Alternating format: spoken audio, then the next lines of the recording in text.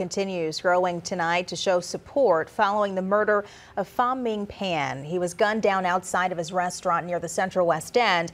And now new at 5 tonight, News 4 has gotten some of that surveillance that police are now sifting through from when Pan, better known as Randy, was killed. News 4's Alex Gall is live tonight on Kingshighway near Delmar. Alex? Sam Corey, the crime happened behind this business, and we now know it was picked up on those security cameras behind the business. Now, the footage you're about to see came from across the street.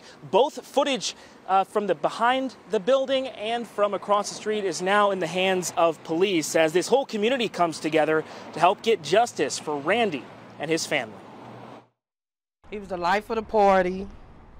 He was just a sweet person. They were um, trying to live the American dream. Gathering together to honor a boss, a friend, a father, and a son of Chinese immigrants.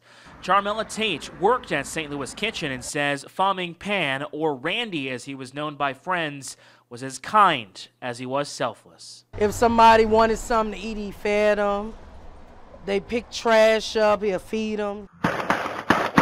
Witnesses say Randy passed away Tuesday after these gunshots hit him and a second person, who workers say was one of Randy's cooks.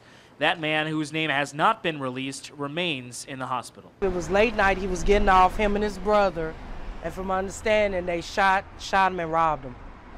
And he would have gave it up. They didn't need to. They didn't need to shoot him. Workers say police have surveillance footage from the restaurant itself, but St. Louis police say they have not found a suspect. They also have no descriptions of who did this. News 4 asked police if there have been issues around here with crime. Their records show there have been several calls to St. Louis Kitchen, including a burglary call in March. We have had um, people break into the store, but we was not here and they took change and stuff, but we have never had nothing like that. The community and family want to learn the reasons behind Randy's murder. St. Louis Asian American Chamber President Omar Malik says it is still part of a troubling trend of violence against the Asian American community. It does, it does beg the question. I mean, we're a vulnerable community in a lot of ways. I think coming to this country, this can happen to anybody, any place, anytime. Um, and at the end of the day, we're all part of one human community.